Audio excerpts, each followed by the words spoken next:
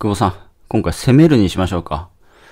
ウクライナ、えー、もう4ヶ月、5ヶ月経ちましたね。早いですね。まだ戦争、ね。なんか今、地雷の撤去とかもしてるみたいですけど。まあ本当にロシアはもう、独立国家みたいな、ね。あのー、なんだ。あれですよね。もう、どうなるんですかね、ロシアね、今後ね。うんまあでもまたガソリン上がったりとかね。まあとりあえず、あのー、この、今年、あのー、多分、中小企業は倒産率また上がったというか、多分、上がって、今年はすごいいいと思うんですよね。要は結局そのし、あのー、ね、ニュースとかでもやってましたけど、なんかあの、やっぱ原材料の仕入れ値がね、高くなっちゃってっていうところで、うん。だから大変ですよね。うん。で、まあ、あと一般の人もね、まあ、物価は上がってるけど給料上がらないっていうね。うん、仕入れ、仕入れるお金の給料。まあ、給料を仕入れとするならば、まあ、一般的に仕入れるお金、給料上がらないけど、あの、買い物のね、あの、高いみたいなね うん。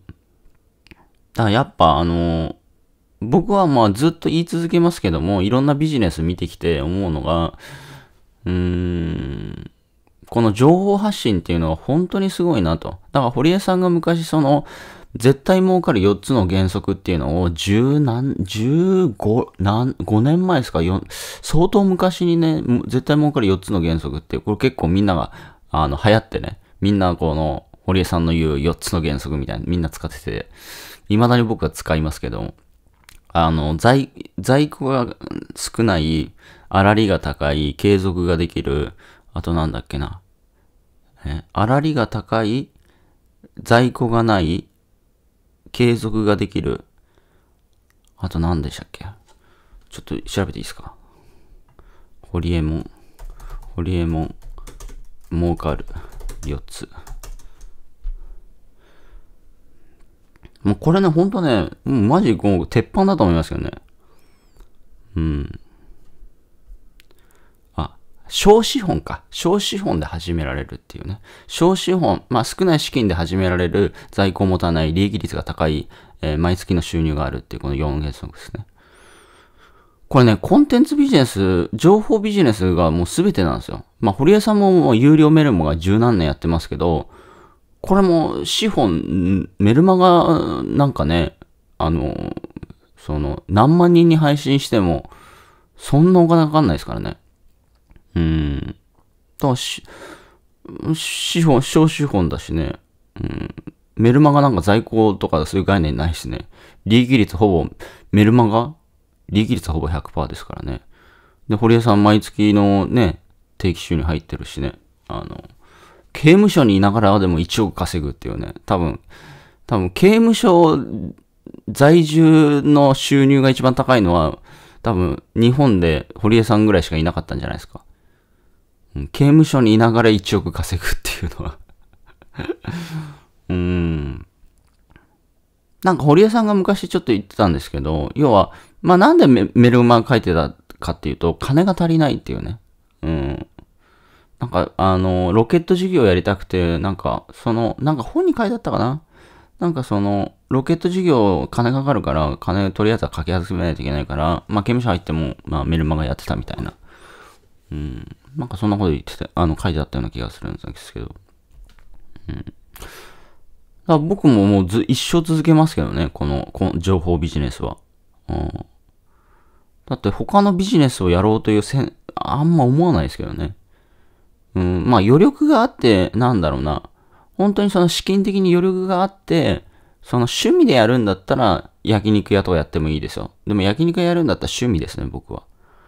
うん。焼肉は、焼肉屋を当てようとするんであるならば、そこにそのいろんなの労力がかかるというか、まあ僕はそんなその人、まあ人をこうね、あ雇わないといけないので、そこにやっぱリスクも存在するし、うん。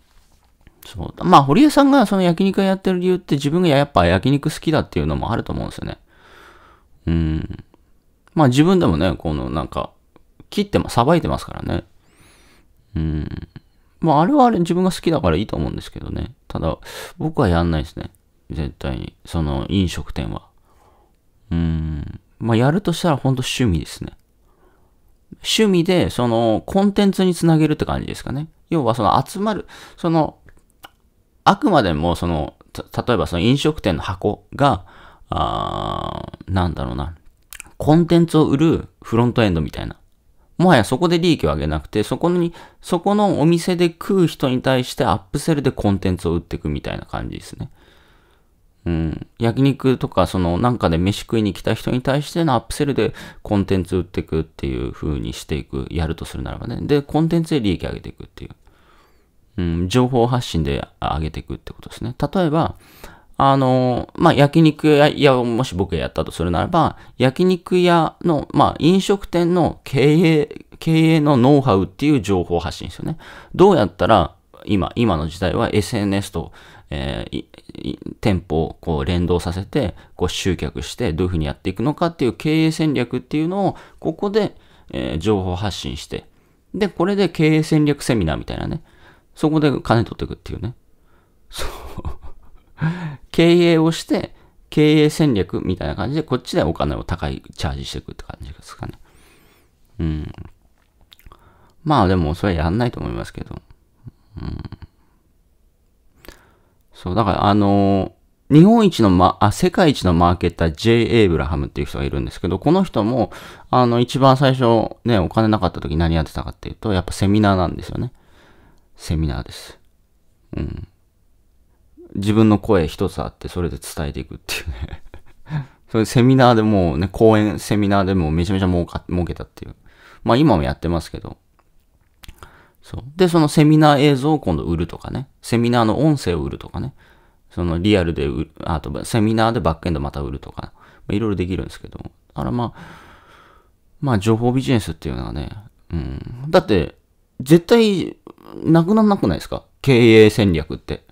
経営してる人がいなくな、まあ、日本中ね、今なんか特にその、この状況でどうやれば経営いけんのかっていう絶対需要あるであるしそもそも経営のノウハウっていうのが、うん、経営のノウハウが知りたいというニーズがなくなることがまずありえないですね。ありえるんだったら日本から企業が一個もないっていうね。うん。そう。だからまあそういう情報が、情報、情報コンテンツをね、今扱えると、非常にいいと思いますね。まあ、久保さんは、まあ、麻雀店は経営はうまくいかなかったけども、逆に言うと、あの、こうやったら経営を失敗するよと。経営で失敗する10箇条みたいなね。これをやると経営失敗しますみたいな。覚えとけ、10箇条みたいなね。だから、あのー、しくじり先生みたいなコンテンツも、あの、売ろうと思えば売れると思いますし。こうやれば失敗すると。うん。で、その失敗だけだったらあれなんで、まあじゃあどうやってそこから成功したのかと、そのし経営、経営者に向けて、いや、あの、こうやって失敗したよと。で、ここからまあ、もし経営を続けるんだったら、これは絶対やるなと。ただし、僕はこれで成功したから、もし、なんだ、経営に疲れたんだったら、こういう道もあるよっていうのも入ってますみたいなね。そう。そう。速化塾経営、経営塾みたいな。速化塾経営、経営、即、あちょっと、ちょっと語呂が思い浮かばないですけどね。そう。うん。即稼ぐではなく、なんすかね。即稼ぐ塾ではない。経営経営っていうのはね、長期だからね。うん。まあやっぱ速化塾っていうロ、ロあの、語、語、語録はいすごい良かったですね。即稼ぐ 経営塾。うん。うん。まあまあまあまあ、やんないとは思いますけど いってらっしゃい。